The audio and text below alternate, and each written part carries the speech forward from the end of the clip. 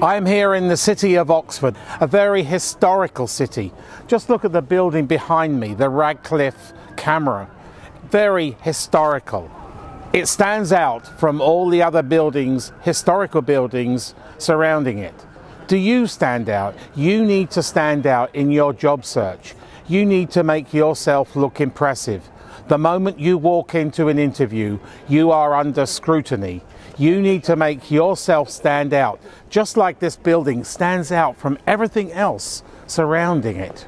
Make sure when you enter the interview, you make that first impression. You hit them between the eyes. You make them want to wow, just like this building behind me makes me want to wow.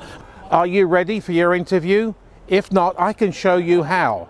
How about you go to my website, www.aneliteresume.com.